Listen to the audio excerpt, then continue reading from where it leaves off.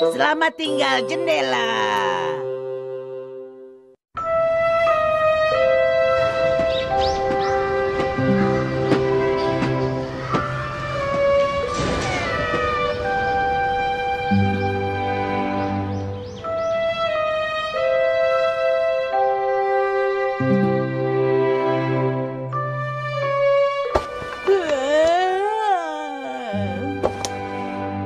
Setiap kali aku melihat pemandangan dari jendela ini, kenapa ya setiap hari selalu saja sama seperti ini?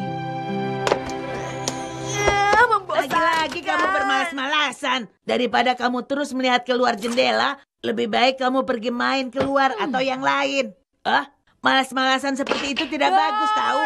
Bermain dengan yang lain itu juga olahraga. Hmm? Hmm? Eh. Maaf. Aku lupa kamu izin sekolah tiga hari. Karena hampir terlambat sekolah, kamu ceroboh akhirnya melukai kaki sendiri. Jangan sembarangan, aku tidak ceroboh. Iya, maafkan aku. Lagi pula aku kan tidak selalu setiap hari bermalas-malasan. Iya, maaf. Aku yang salah. Jangan dimasukkan ke hati ya. Tidak, pokoknya aku tidak terima karena kamu pikir aku ini hanya anak pemalas. Eh, baiklah, sebagai gantinya aku akan pinjamkan barang yang bagus. Ini cocok untuk kamu yang cedera karena ceroboh. Sudah aku bilang tadi aku tidak ceroboh. Ini alat pengatur pemandangan jendela. Dengan alat ini pemandangan yang jauh dari rumah sekalipun bisa dilihat dari jendela. Di mana pun tempat yang kita mau pasti bisa. Hah? Eh, mula-mula kita tentukan dulu lokasinya, lalu arahkan ke jendela. Hah? Berubah? Hmm, kamu tahu ini di mana? Hah? Ini adalah Tunggu, sepertinya aku pernah lihat. Aku tahu, ini jendela kamar si Suka. Ting Tong. Kamu benar. Hah? Wah, itu si Suka. Dia sedang bakar ubi. Oh iya. Eh? Hmm, Si Suka, si Suka, ada telepon. Iya.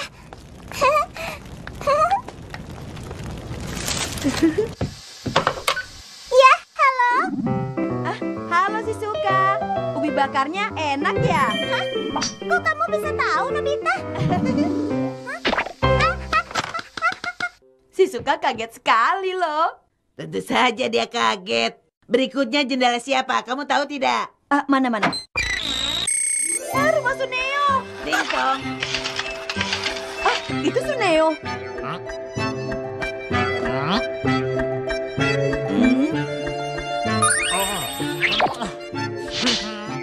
Yeay. Aku memang tampan. Hmm, kenapa ya aku bisa terlahir jadi anak tampan seperti ini? Rambutku juga terlihat halus dan terawat. Anak perempuan yang melihatku pasti juga mengakui kalau aku tampan. Hmm, ah. Tapi aneh, seperti ada yang mentertawakan. Itu memang betul. Sudah, sudah. Berikutnya. Wah, ini jendelanya sempit, kotor dan jelek. Cepat sembunyi.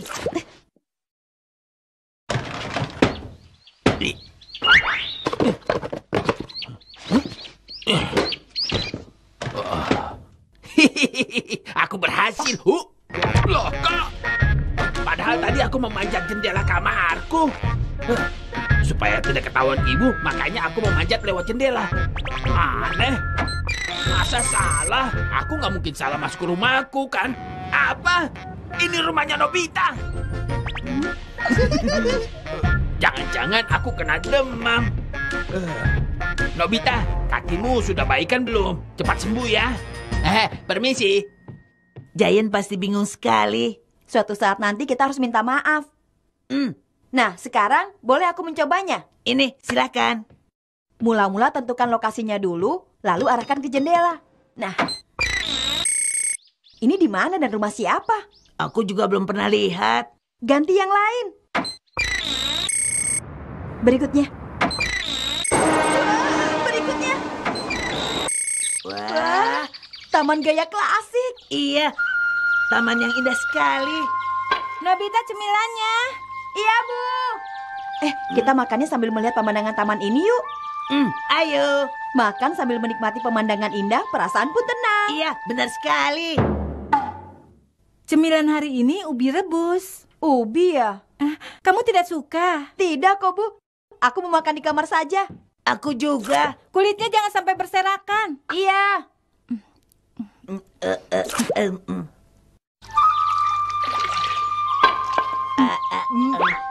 berikutnya kita lihat jendela yang mana lagi ya? Dorayaki. Eh, eh, bukan. Kalau pemandangan dari tempat yang lebih tinggi bagaimana? Boleh juga. Ayo. Gedung perkantoran. Wah, Tinggi sekali. wah. Mobil-mobilnya kelihatan kecil ya. Kita coba yang lebih tinggi lagi yuk. Lebih tinggi. Wah, ini di mana? Gunung. Ini rumah di pegunungan. Tingginya. Wah. Wah, masih ada rumah yang lebih tinggi lagi. Baiklah, ayo kita coba ke sana saja. Di tempat setinggi itu tidak mungkin ada jendela. Ada. Wah, ini jendela pesawat. Keren. Lihat, di sana ada pulau. Ada kapal juga. Aku jadi ingin melihat daerah selatan, Doraemon. Boleh juga. Laut, Kita di atas kapal. indah sekali ya. Hah? Itu kan? Lihat, itu. Itu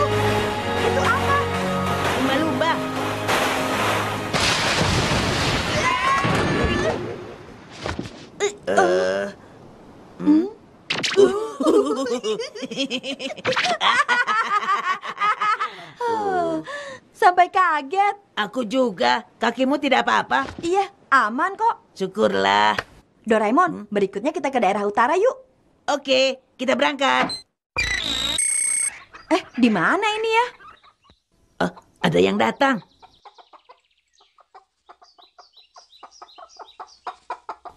Sebaiknya kita pindah saja sebelum dia datang ke sini. Iya, coba ke... Siapa di sana? Mau apa kamu? Eh, maaf, maaf. Aku ke sini ingin bertemu dengan Momoya. Kamu bilang Momoya? Kamu sudah janji belum? Sayang sekali. Momoya sedang pergi keluar. begitu ya.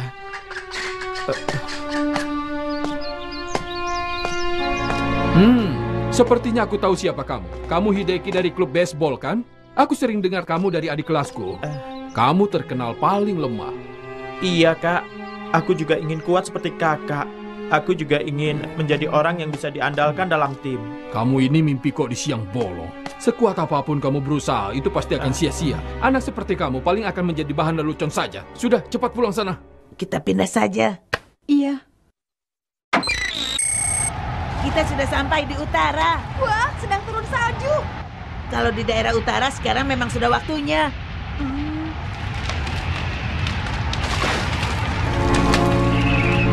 Anak seperti kamu paling akan menjadi bahan lelucon saja. Sudah, cepat pulang sana. Pemuda yang tadi itu, Oh, maksudku pemuda yang bernama Hideki itu. kenapa? Setelah ini apa yang akan dilakukannya ya? Kamu mencemaskan dia ya? Boleh tidak kalau kita lihat tempat tadi sekali lagi? Hmm, tentu saja. Kalau kamu putar meter ini ke kiri, nanti kamu akan kembali ke tempat semula. Terlalu jauh. Ini dia. Tidak ada siapa-siapa.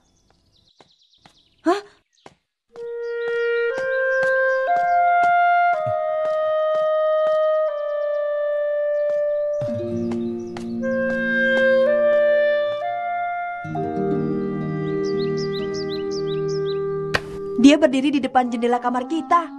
Biarkan saja, kalau dari luar tidak akan kelihatan perbedaannya. Kelihatannya seperti ada sesuatu yang sedang dia sesali. Ada apa ya? Momoya, aku yakin kakakmu pasti tidak akan bilang kalau aku datang. Tapi bagaimanapun juga aku ingin bertemu. Ada hal penting yang ingin aku bicarakan denganmu. Tapi sayang sekali. Aku... Aku akan membantu pamanku bekerja di pabrik. Karena itu aku harus segera pindah ke Tokyo. Dengan hidup di kota mungkin aku bisa lebih baik. Makanya... Hari ini aku ingin sekali bertemu denganmu. Mungkin memang aku tidak bisa bertemu denganmu. Tapi sebelum kita berpisah, selama ini aku tidak pernah bilang kalau aku aku suka padamu. Walau kita berpisah, aku tidak akan pernah melupakanmu. Ya, tidak akan pernah bisa. Makanya, aku harap kamu juga sesekali mungkin bisa mengingat tentang diriku. Itu saja cukup. Aku, di mana pun aku tinggal, aku selalu berdoa supaya kamu bahagia. Semoga kita bertemu lagi. Jaga kesehatan. Selamat tinggal.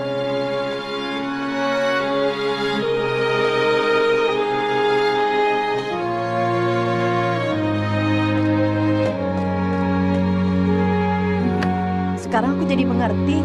Tapi kita tidak bisa apa-apa, kasihan. Memang.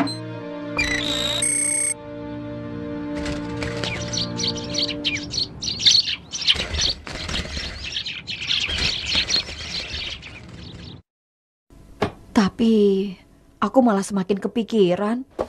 Ada caranya tidak ya supaya Momoya bisa tahu yang sebenarnya? Bagaimana kalau kita langsung ke sana saja? Hah? Eh, eh, Lebih baik daripada nonton di jendela, kan? Benar, ayo kita pergi. Hmm.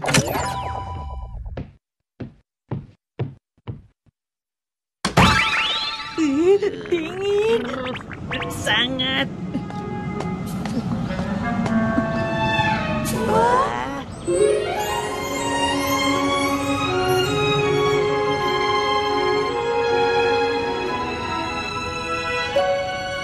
Itu ya? Ayo ke sana.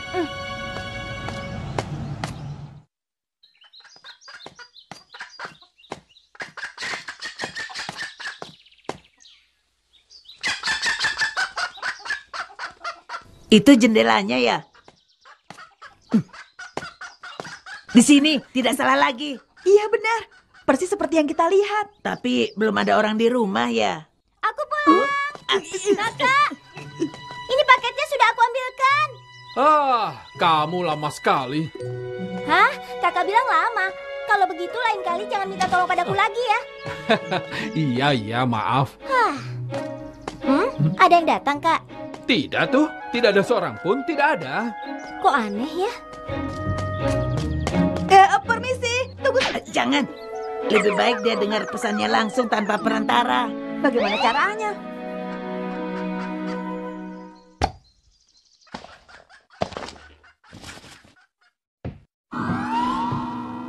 Momoya, aku yakin kakakmu pasti tidak akan bilang kalau aku datang. Tapi bagaimanapun juga aku ingin bertemu. Ada hal penting yang ingin aku bicarakan denganmu. Tapi sayang sekali, Siapa ya?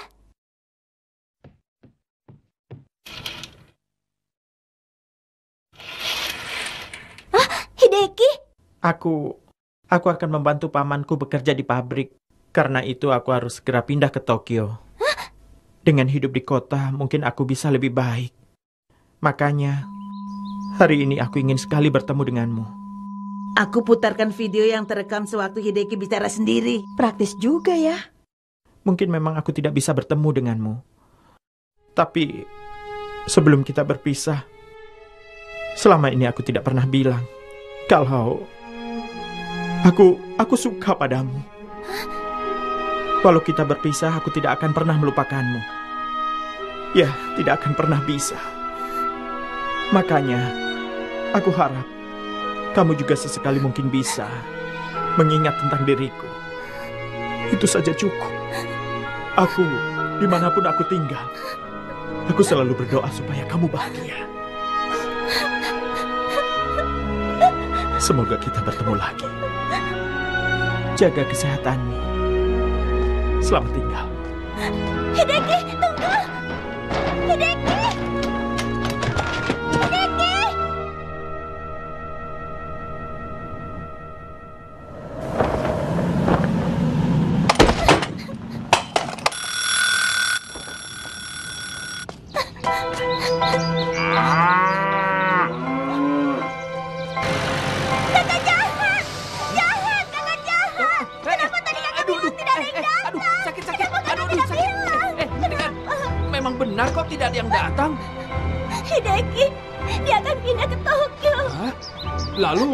Kenapa? Biarkan saja. Ah, kamu? tidak mungkin. Masa kamu suka dengan anak yang selama tiga tahun jadi bulan-bulanan di sekolah? Kakak jahat. Kakak tidak tahu kalau Hideki itu orang yang selalu berusaha keras. Kakak tidak tahu dia rela melakukan apa pun demi bisa melihat kakak bertanding.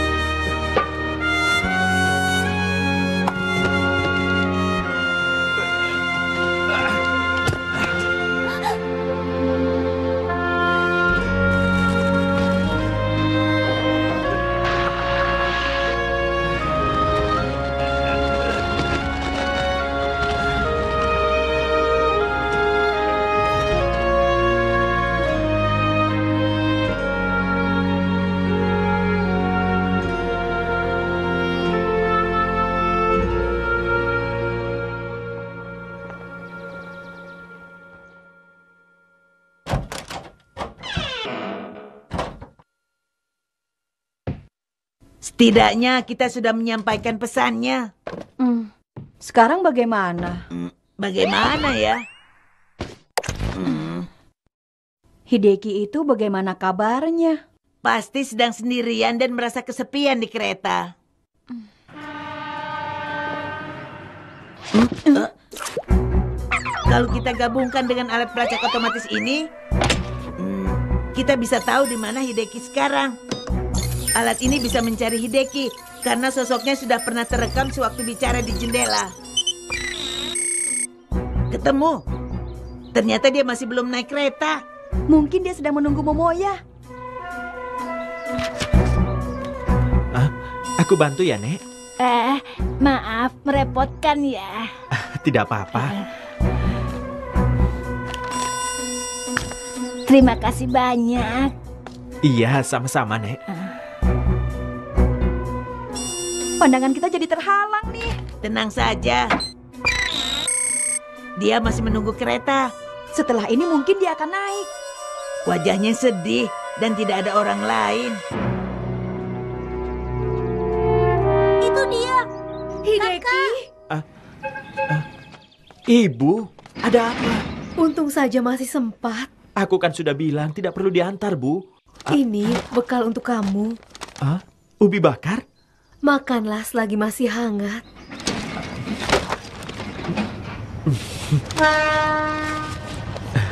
Terima kasih banyak ya, Bu. Wah, keretanya sudah datang. Bagaimana ini?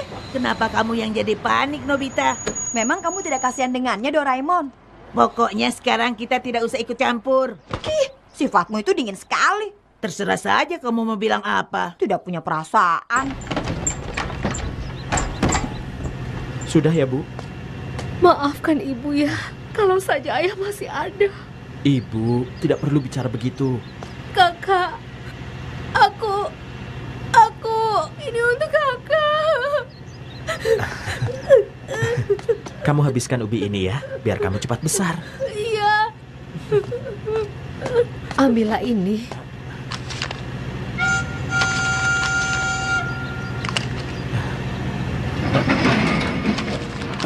I, ibu, ini Tokyo itu berbeda. Walau hidup hemat di sana, tapi kamu pasti memerlukannya.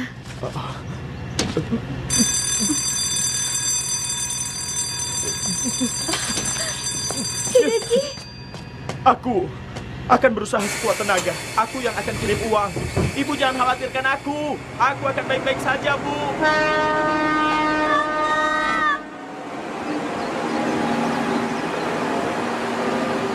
Sudah berangkat. Ya, sudah berangkat. Oh, bagaimana perasaan Momoya saat ini? Kadang begitulah yang namanya nasib. Doraemon sih tidak punya perasaan.